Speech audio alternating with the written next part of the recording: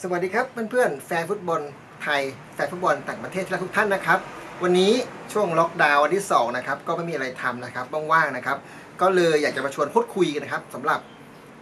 เงินรางวัลจากรายการฟุตบอล AFC แชมเปี้ยนลีก2021 นะครับหลายๆคนอาจจะอยากรู้ว่าสโมสรฟุตบอลเมืองไทยไปเตะถ้วยชิงแชมป์แห่งทวีปเอเชียเนี่ยเขาได้เงินกันเท่าไหร่นะครับ มีค่าใช้จ่ายเท่าไหร่ยังไงนะครับ จริงๆจะบอกว่าสมาพันธ์ฟุตบอลแห่งทวีปเอเชีย หรือ AFC เนี่ยผมว่าค่อนข้างจะงกนะครับ ก็ไม่ต่างอะไรจากยูฟ่านะครับ ที่หลายๆ สโมสรอยากจะร่วมกันบอยคอรดเพื่อจะตั้งลีกใหม่ เพราะว่าเงินรางวัลที่ให้กับสโมสรที่ได้เข้าร่วมรายการยูฟ่าก็ไม่ต่างจากสโมสรเอเชียที่เข้าร่วมรายการ AFC Champions League ครับ คือผลตอบแทนนะครับสำหรับการเข้าไปร่วม รายการนี้มันต่ำเกินกว่าที่ควรจะเป็นนะครับ AFC รวมถึงยูฟาควรจะพิจารณาเพิ่มรายได้ให้กับสโมสรฟุตบอลมากกว่านี้นะครับ เพราะผมคิดว่ารายได้จากสปอนเซอร์จาก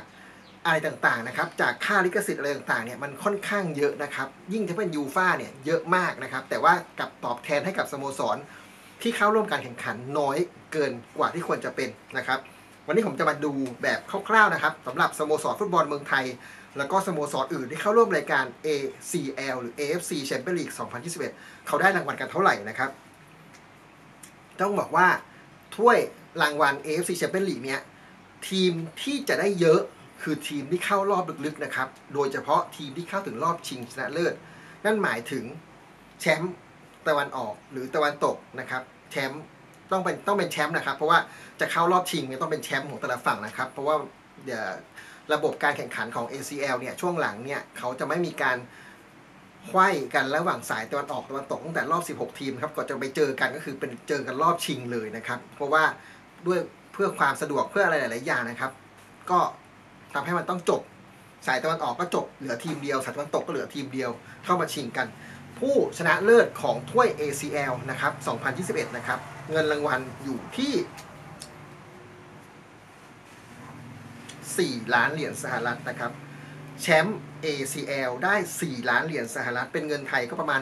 130 ล้านบาท ส่วนรองแชมป์ได้ 2 ล้านเหรียญสหรัฐประมาณ 65 ล้านบาท แชมป์กับรองแชมป์เนี่ยจะได้เยอะนะครับ ขณะที่คนที่เข้ารอบรองนะครับ ต่ำมาแบบพวบๆเลย เข้ารอบรองได้แค่ 2 5 0 0 0 0เหรียญ2 5 0 0 0 0เหรียญก็ประมาณ 8 ล้านบาทนะครับ เข้ารอบก่อนรองรอบ 8 ทีมนะครับ ได้แค่แสนห้าหมื่นเหรียญคือประมาณ 5 ล้านบาท คิดดูนะครับ ระหว่างเข้ารอบรองชนะเลิศได้ 8 ล้าน เข้ารอบรองเอ่อเข้ารอบเข้ารอบรองชนะเลิศนะครับคือรอบตัดเชือกเนี่ยได้ 8 ล้าน แต่คนที่เข้าถึงรอบชิงนะครับ ได้ถึงอย่างต่ำๆ65 ล้านนะครับ8ล้านกับ65 ล้าน ส่วนต่างเยอะไหมเยอะนะ เยอะเยอะก็ประมาณนี้นะครับ ส่วนค่าเดินทางเนี่ย ตั้งแต่รอบต้นๆนะครับ ถ้าจำไม่ผิดนะครับ ตั้งแต่รอบแบ่งกลุ่ม รอบเพลย์ออฟนะครับ รอบ 16 ทีม รอบก่อนรอง รอบรองเนี่ยได้ 45,000 เหรียญเท่ากันนะครับ คือประมาณ 1.46 ล้านบาทนะครับ ส่วนค่าโรงแรมเนี่ย ประเทศเจ้าภาพเขาจะเขาจะออกให้นะครับสำหรับสนามกลางนะ ส่วนค่าเดินทางรอบชิงจะเยอะหน่อยได้ 90,000 เหรียญนะครับ ก็ประมาณนี้นะครับสำหรับสโมสรฟุตบอลเมืองไทยได้รางวัลเท่าไหร่กันบ้างนะครับ เยอะสุดก็จะเป็นสโมสร BG ปทุมยูไนเต็ดนะครับได้มาทั้งหมดตอนนี้แล้วนะครับ 345,000 เหรียญสหรัฐนะครับ โดยแบ่งมาเป็นนะครับอะเราลืมบอกไปอรอบแบ่งกลุ่มรอบ 16 ทีม รอบ 8 ทีมถ้าจะไม่ผิดนะครับ ผู้ชนะจะได้อ่อรอบแบ่งกลุ่มเนี่ยชัวร์เลย ผู้ชนะได้ 50,000 เหรียญ50,000 เหรียญก็ประมาณ 1.6 ล้านบาทนะครับ ส่วนเสมอได้แสนเหรียญเอ้ยเสมอได้หมื่นเหรียญนะฮะชนะได้ 50,000 50,000 US ดอลลาร์นะครับเสมอได้ 10,000 US ดอลลาร์เอาง่ายๆชนะได้ 1.6 ล้าน ถ้าเกิดเสมอได้ 3 2 0 0 0นะครับก็ต่อนนัดนะครับ ถ้าเกิดชนะเยอะนะครับ อย่างเช่นอุนซานฮุนไดหรือคาฟาซากิฟอนตาเล่อะไรพวกเนี้ย ชนะ 6 นัด นัดละ 50,000 ก็ 56 ก็สามแสนนะฮะสามแสนก็คูณเอาละกันสามแสนก็ประมาณสิบล้านนะฮะก็ได้ประมาณสิบล้านบวกค่าเดินทางอีกก็สิบล้านกว่าๆก็ถือว่าไม่เยอะนะครับสำหรับสโมสรระดับชั้นนำของเอเชียที่ต้องเดินทางมาเอาแค่เงินเดือนของนักเตะแต่ละคนก็คิดเอาเองละกันนะครับ เพราะฉะนั้นไม่แปลกที่สโมสรอย่างออสเตรเลียถึงถอนทีม แบบไม่ใหญ่ดี หรือแม้แต่ประเทศจีนนะครับไม่ต้องเคยได้ยินนะครับว่าค่ารายได้ของนักเตะจีนเขาได้กันสูงขนาดไหนนะครับ เพราะฉะนั้นรายได้มาเตะนี่ได้เต็มที่ก็ 10 ล้านบาทนะฮะผมว่าเขาหาสปอนเซอร์หารายได้ในประเทศเขาก็หากันได้ เพราะฉะนั้นไม่แปลกใจที่สโมสรอย่างออสเตรเลีย หรือว่าจีนถึงได้ถอนทีมแบบไม่แคร์เวิร์ไม่ไม่ไม่แคร์ AFC ไม่เห็นหัวสโมสรอื่นในทวีปเอเชียเลยนะครับ ไม่แปลกใจกลับมาที่กลับมาที่ BG นะครับ BG ผลจากการชนะ 4 เสมอ0นะครับชนะ 4 เสมอ0แพ้2นะครับแล้วก็ได้โบนัสอีก1 0 0 0 0แสนนะครับเป็นการโบนัสที่เข้ารอบ 16 ทีมสุดท้ายนะครับก็เลยได้ชนะได้ 2 0 0แสนนะครับบวกค่าเดินทางเอ่อบวกค่าโบนัสที่เข้ารอบอีกแสนหนึ่งก็เป็น 3 0 0แสนเหรียญนะครับบวกค่าเดินทางรอบ 16 ทีมสุดท้ายอีก 4.5 หมื่นเหรียญก็เป็น 3 4 5 0 0 0 เหรียญนะครับ สรุป BG ได้เงินไป 3 4 5 0 0 0 เหรียญ เป็นเงินไทยประมาณ 11 ล้านกว่าๆนะครับ สโมสรที่ได้เงินรองลงมาก็จะเป็นเชียงรายโทษครับ เชียงรายยูไนเต็ดนะครับ ได้แสนหนึ่งแสนหกหมื่นห้าพันเหรียญสหรัฐนะครับ เป็นเงินไทยประมาณ 5 ล้าน4แสนบาทนะครับสำหรับฟุตบอลรายการเดียวนะครับ ที่เตะกันเวลาประมาณ3-4สัปดาห์นะครับ น่าจะประมาณ 3 สัปดาห์ เพราะว่าเตะ 25 ถึงวันที่ 10 นะครับเอ่อ15 วันบวกเวลาเดินทางอีกก็ประมาณตีว่า 3 สัปดาห์นะครับได้มา 5 ล้านก็ไม่เลวสำหรับเชียงรายไม่เลวครับ เพราะว่าเราเป็นสโมสรเล็กๆ ที่ไม่ค่อยมีรายได้เยอะหาเงินไม่ค่อยเก่งนะครับ เทียบกับสโมสรอื่นที่เขาเงินถุงเงินถังอย่างพวกบีจีเป็นเจ้าของเบียร์สิงห์หรือว่าท่าเรือมีเงินถุงเงินถังเมืองทองอะไรเงี้ยเงินแค่5ล้าน10ล้านนี่ถือว่ากระจอกก๊อกมากนะครับ ไม่ต้องห่วงนะครับว่าไม่ต้องไม่ต้องพูดยิ่งไม่ต้องพูดถึงรายแชมป์รายการใหญ่ ๆ ในประเทศไทยนะครับอย่างแชมป์ไทยลีกได้ 10 ล้านบาท แค่เงินเดือนก็แค่เงินเดือนเดือนหนึ่งเขาก็บางบางสโมสรก็ไม่พอนะครับ หรือแชมป์บอลถ้วย FA ได้ 5 ล้านบาทเงี้ยมันกิ๊กก๊อกมาก ๆ เลย ก็ไม่รู้ว่าจะเพิ่มชาติไหนนะครับอะกลับมาต่อเชียงรายได้แสนหกหมื่นห้าพันเหรียญสหรัฐนะครับ ก็คือห้าแสนสี่ห้าล้านสี่แสนบาทขอโทษครับห้าล้านสี่แสนนะครับ จากการชนะสองเสมอสองชนะสองก็ ห้าหมื่นคูณสองก็ได้แสนเหรียญนะครับแสนเหรียญก็สามล้านสองแสนห้าหมื่นเสมอสองหมื่นคูณสองก็สองหมื่นเหรียญเป็นหกจุดห้าแสนนะครับบวกค่าเดินทางอีกสี่หมื่นห้าพันเหรียญก็คูณเป็นเงินคูณดอลลาร์เป็นบาทคูณ32.58นะครับเรทวันนี้นะครับ ก็สรุปได้มาจากการชนะ 2 เสมอ 2 แล้วค่าเดินทางรวมเป็น 1 6 5 0 0 0 เหรียญสหรัฐนะครับ อยู่ที่ 5 ล้าน4แสนกว่าๆนะครับสำหรับ เงินที่สโมสรสิงห์เชียงรายได้นะครับ ส่วนสโมสรการท่าเรือได้ไป 1.2 แสนนะครับจากการชนะ 2 เสมอ 2 เท่ากับเชียงราย แต่ไม่มีค่าเดินทางให้นะครับเพราะฉะนั้น 1.2 แสน1แสน2หมื่นเหรียญสหรัฐของท่าเรือเป็นเงินไทยประมาณ3ล้าน9แสนบาทนะครับ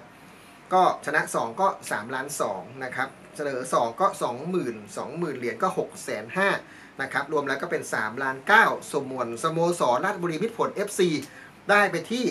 เสมอ 2 ได้นัดละหมื่นนะครับหมื่นคูณ2ก็เป็น 20,000 เหรียญสหรัฐนะครับ อยู่ที่6แสน5หมื่นบาทเท่านั้นนะครับ สรุปนะครับ BG ได้ไป 11 ล้านกว่าๆนะครับ เชียงรายได้ไป 5 ล้าน 4 การท่าเรือได้ไป 3 ล้าน9นะครับ แล้วก็ราชบุรีมิตรผลได้ไป 6 5 0 0 0 0 บาทนะครับ ส่วน BGFC นั้นถ้าเข้ารอบ 16 ทีไปแล้วชนะอีกนะครับ ก็จะได้เงินเยอะขึ้นตามสเต็ปนะครับ อย่างที่บอกนะครับ ก็ถ้าเข้ารอบ8ทีมก็ได้อีก 5 ล้านเนาะๆแหละก็คือแสนหนึ่งแสนห้าหมื่นเหรียญแล้วก็มีค่าชนะอีกนะครับ ค่าชนะถ้าจะไม่ผิดน่าจะห้าหมื่นเหรียญถ้าผมจำไม่ผิดนะครับ ก็คิดว่ายังไง BG ก็ไม่ชนะอยู่แล้วครับ ก็เลยสรุปให้ที่ตัวเลขเท่านี้นะครับสำหรับรายได้จาก ACL นะครับ เพราะฉะนั้นถ้าไปแล้วชนะเยอะๆนะครับ ชนะเยอะๆก็ตีว่าชนะนัดละ 5 0 0 0 0 5 0,000เหรียญสหรัฐนะครับ คูณ 32.58 เข้าไปนะครับ ก็ตกนัดละ1ล้าน6 1ล้าน6แสนบาทนะครับ เพราะฉะนั้นถ้าเกิดชนะ 6 นัดก็ 1.6 คูณ6แสนก็ได้มาณ9ล้านกว่าๆนะครับ ถ้าเกิดชนะรวดนะครับ แล้วก็จะได้บทบรัตอีกแสนหนึ่งนะครับ สรุปแล้วก็น่าจะได้ประมาณสามหนึ่งนัดละห้าหมื่นใช่ไหมครับหกนัด ถ้าเกิดชนะรวดนะครับ ก็ได้สามแสนบวกอีกแสนหนึ่งบุรัตเข้ารอบนะครับ ก็เป็นสี่แสน สี่แสน US เอ่อก็คูณสามสิบสองก็ได้ประมาณสิบสองสิบสิบสองล้านกว่าๆนะครับสำหรับถ้าเกิดทีมที่ชนะรวดทุกนัดและได้เข้ารอบนะครับ 12 ล้านกว่าๆก็ถือว่าไม่ได้เยอะมากนะครับสำหรับค่าของชีพและค่าใช้จ่ายในพศนี้นะครับ เพราะฉะนั้นถ้าอยากรายอยากจะให้มีรายได้เยอะจริง ๆ จากการเข้าแข่ง AFC Champions League นะครับ ก็คือต้องได้แชมป์เลยครับ ถึงจะได้ 130 ล้านเหรียญนะครับ เอ้ย130 ล้านบาทนะครับ ก็คือ 4 ล้าน เหรียญสหรัฐนะครับ4ล้านเหรียญอย่างที่บอกนะครับ ต้องเป็นแชมป์ถึงได้ 4 ล้านเหรียญสหรัฐ 130 ล้านบาท รายได้นะครับ นอกจากการคว้าแชมป์เขาก็จะมีโบนัสจากการชนะรอบต่างๆนะครับ ก็จะไล่ขึ้นมานะครับ ก็น่าจะทำให้เบ็ดเสร็จนะครับ คนที่เข้าถึงรอบถึงได้แชมป์เนี่ย ก็อาจจะมีเงินเก็บตกประมาณ 4 ล้านกว่า US ก็อาจจะได้ถึงประมาณ 140-150 ล้านก็เป็นไปได้นะครับ แต่ว่าอย่าลืมว่าสุดท้ายแล้วรายได้จากสโมสรที่ไปแข่ง AFC Champions League นะครับ ผมเชื่อว่ามาจากหนึ่งการขายสินค้าของที่ระลึกต่างๆ การหาสปอนเซอร์เข้ามาในช่วง ACL หรือการหาสินค้าต่างๆนะครับที่เข้ามาเป็น partner ให้กับสโมสรนะครับ อันตรงนี้น่าจะเป็นรายได้หลักๆ มากกว่าเงินรายได้จากรางวัลที่ มีหน่วยงานองค์กรต่างๆ เขาจัดขึ้นมานะครับสโมสรที่หาเงินเก่ง ก็อาจจะไม่ต้องพึ่งรายได้อะไรพวกนี้นะครับ แต่ว่าการเข้าไปร่วมรายการอะไรพวกนี้มันก็เป็นการเพิ่มเครดิตนะครับ แล้วก็เป็นการสร้างชื่อเสียงนะครับ เรียกว่าเป็นการเพิ่มโปรไฟล์ให้กับสโมสรนะครับเราก็อยากจะเห็นสโมสรที่เรารักนะครับ ไม่ว่าจะเป็นเชียงรายหรือสโมสรของท่านนะครับ ได้เข้าไปร่วมรายการใหญ่ ๆ แบบนี้ ถ้าเกิดไม่มีโควิดนะครับ ก็อาจจะมีรายการอื่นอย่างเช่น รายการของ อาเซียนคัพที่เขาจะจัดเป็น AFF AFF AFF Championship ก็มีเงินให้ก้อนใหญ่เหมือนกันนะครับ ก็เป็นของสโมสรอของ AFC เหมือนกันนะครับ หรือว่าเป็นบอลถ้วยเล็กอะไรอย่างเงี้ยก็จะมีปีหน้านะครับสโมสรสมาคมฟุตบอลก็จะมีการจัดทั้ง FA คัพแล้วก็ถ้วยลีกคัพด้วยนะครับ ส่วนเงินรางวัลก็คิดว่าไม่น่าจะเพิ่มจากเดิมเท่าไหร่นะครับ แต่ว่ายังไงนะครับ สิงห์เชียงรายก็คงจะต้องร่วมทุกรายการอยู่แล้ว เพราะว่าถ้า สโมสรไหน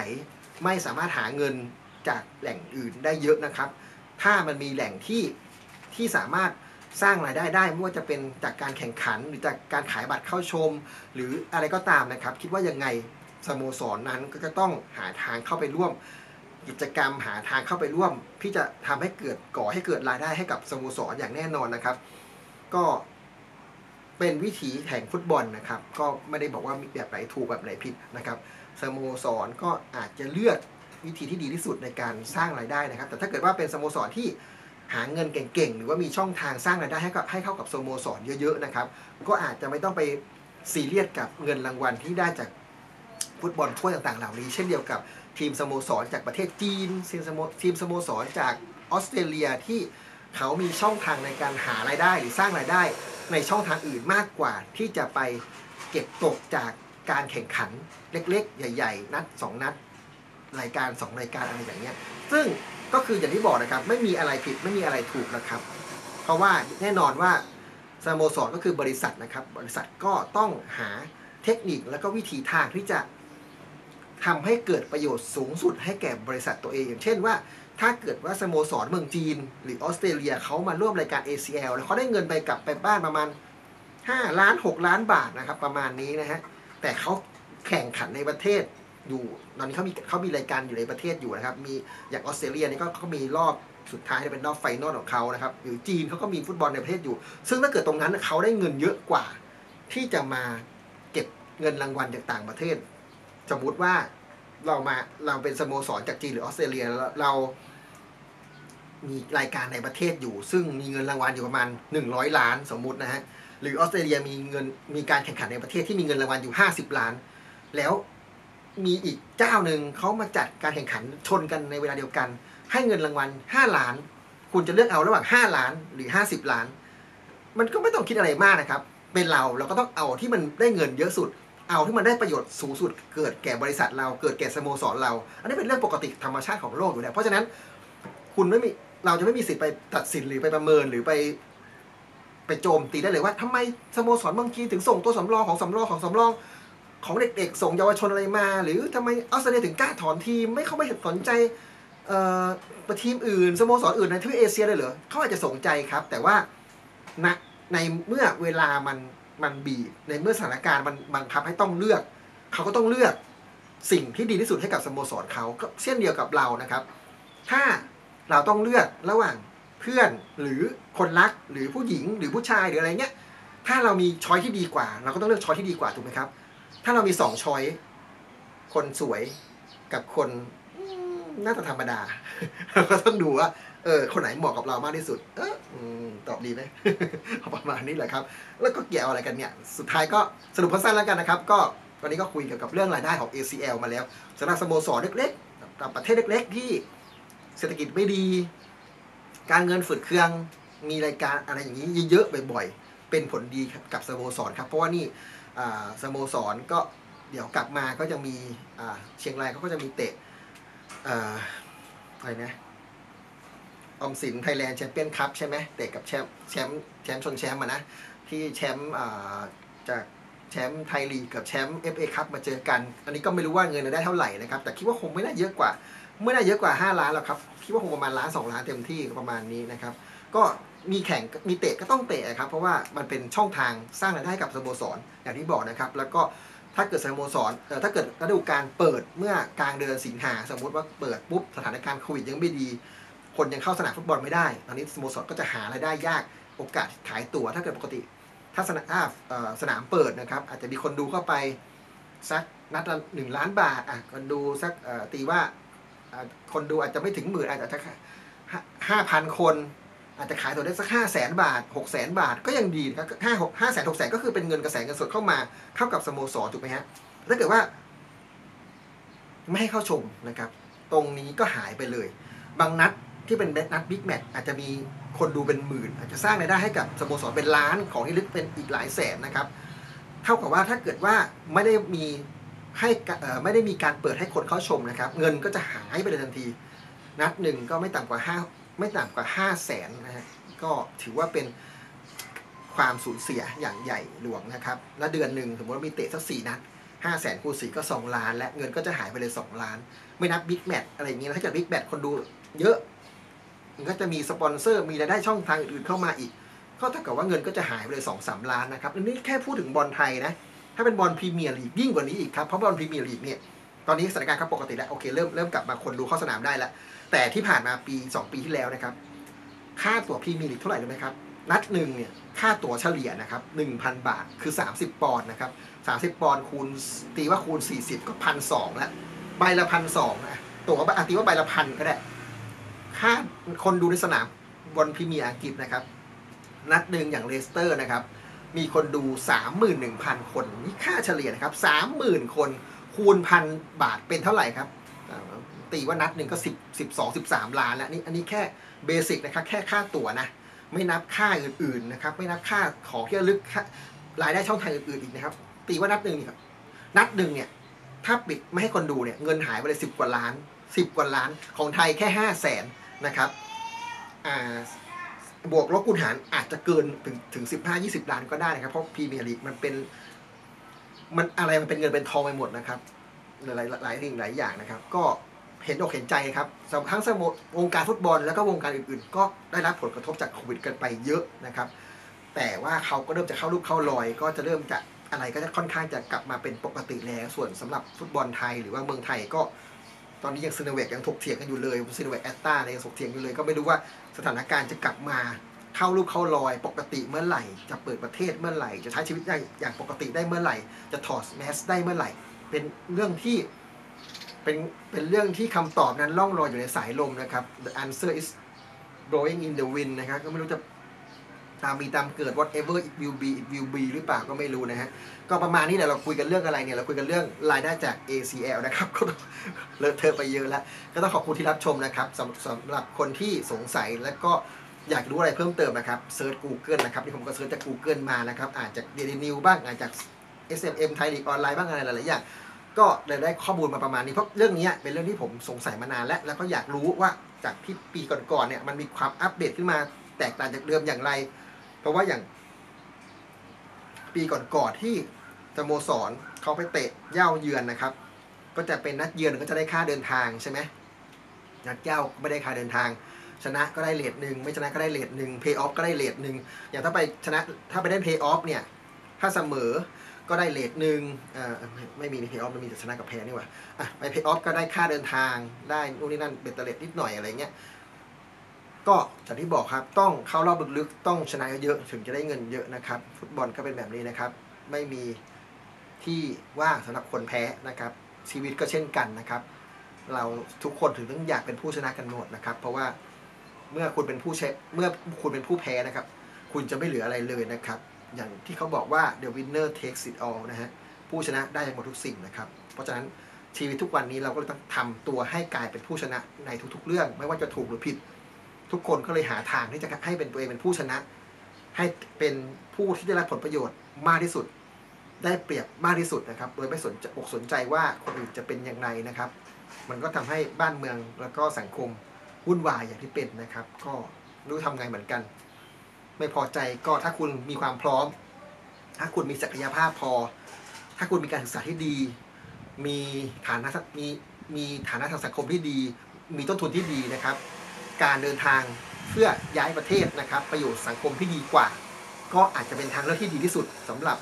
ตัวคุณสำหรับลูกหลานของคุณสำหรับอนาคตของลูกหลานคุณนะครับ แต่ถ้าท่านไม่มีช่องทางก็ต้องสู้กันไปนะครับ ต้องทนใช้คุณภาพชีวิตที่ต่ำเตี้ยติดดินกันไปนะครับ ก็ได้แต่เห็นอกเห็นใจซึ่งกันและกันนะครับ แต่ก็ไม่สามารถทำอะไรได้มากกว่านั้น ขอบคุณที่รับชม ขอบคุณที่รับฟัง สวัสดีครับ